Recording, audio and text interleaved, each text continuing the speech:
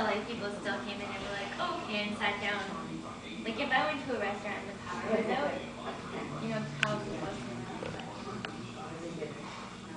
So they're making pizzas in the, in the dark. Do they have, uh, like, the generators? No, but the, the ovens are ran on gas and like we could do it, it's just, you know, like kind of, very, like, like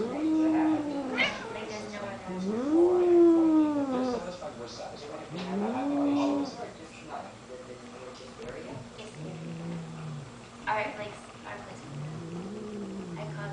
Sponge buckets or or like